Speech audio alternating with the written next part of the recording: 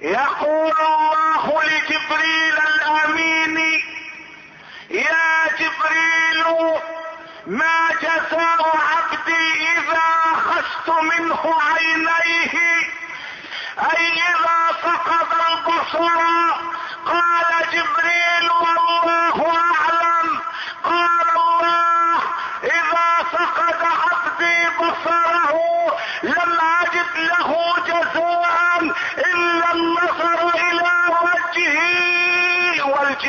في دار رحمته. يعيرني الاعداء والعيب فيهم.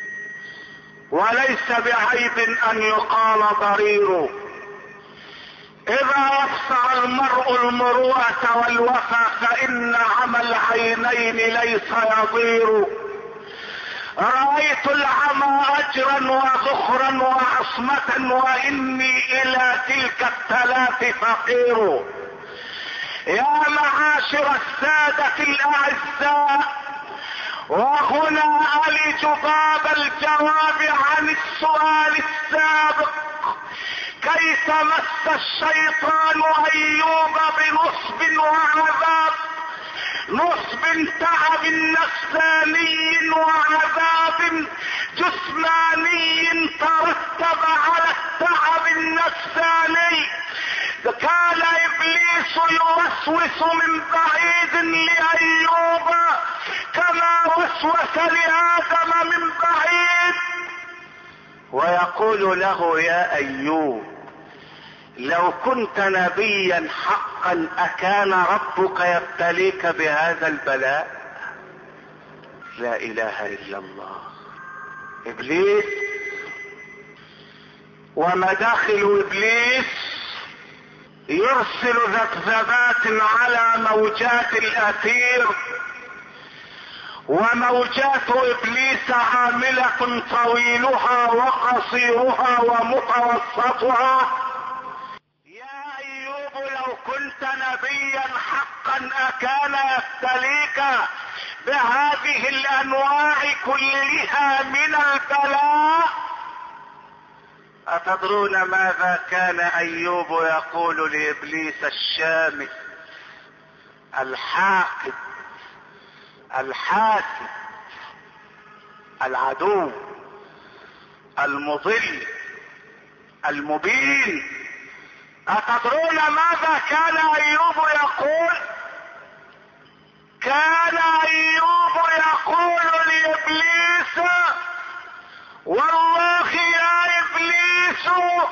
لو علمت النعمة التي أنعم الله بها علي لحسدتني عليها.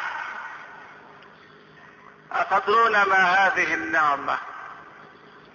إنها المملكة التي لخصها سيد الأنبياء والمرسلين محمد. إن هذه النعمة هي المملكة ذات القوائم الرفيعة. التي تكاد تناطح السحابة وتزاحم الشمس في الجلاء.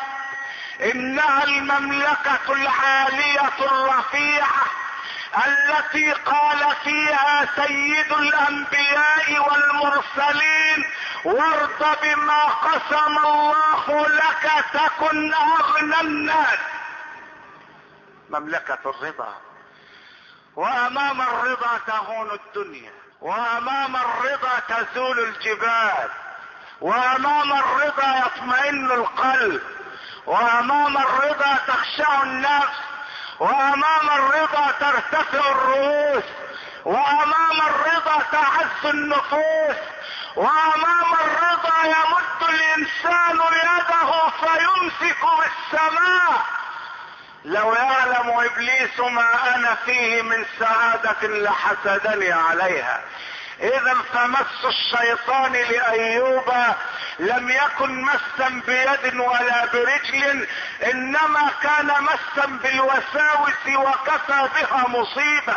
فإن المسا الوساوس الإبليسية إن الوساوس الشيطانية تمتد موجاتها فتصطدم بساحات العقل فتحدث في العقل ذبذبة لو لم يكن هناك إيمان بالله. وإما ينزغنك من الشيطان نزغ فاستعذ بالله. إنه هو السميع العليم. فماذا قال أيوب وقتها؟ حتى لا يشمت الشيطان فيه. نادى على الله وقال مسني الضر وأنت أرحم الراحمين. فماذا قال له الله؟ معاشر السادة الأعزاء والآن على جناح السرعة انتقل بحضراتكم إلى المستشفى الأيوبي الإسلامي.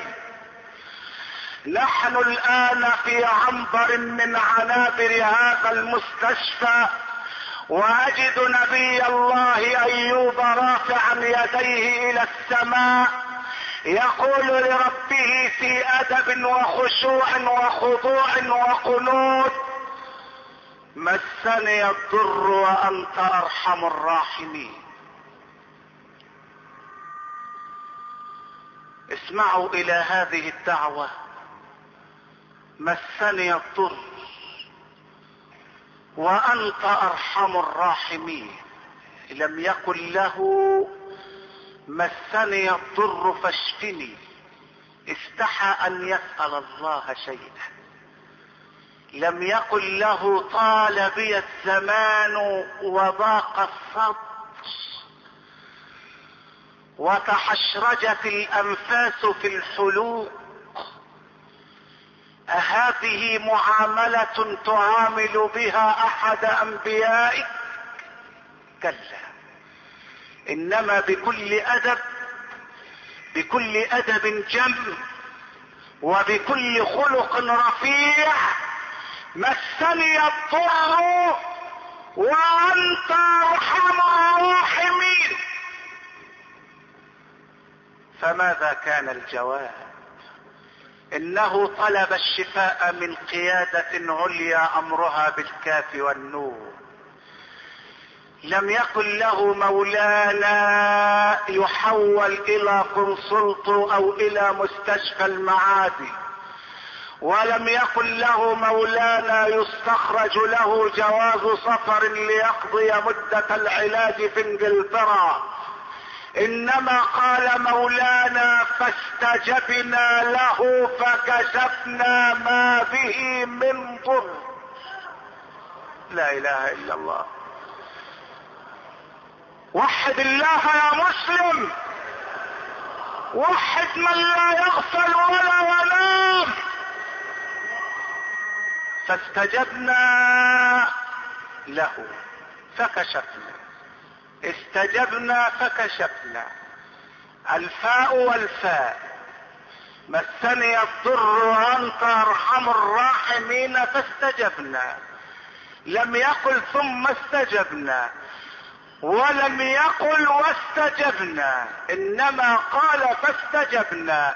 الفاء للترتيب والتعقيب والواو لمطلق الجمع وثم للترتيب والتراخي.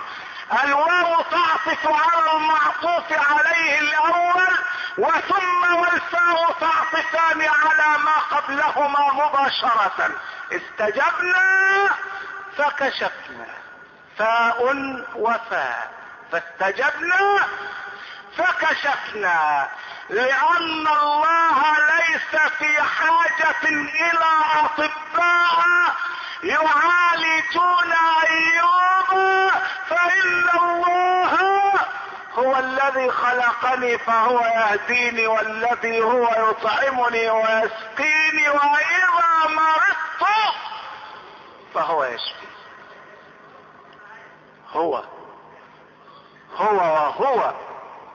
الذي خلقني فهو يهديني والذي هو يطعمني ويسقين وإذا مرضت فهو يشفي هو والذي يميتني ثم يحييني والذي يطمع ان يغفر لي خطيئتي يوم الدين.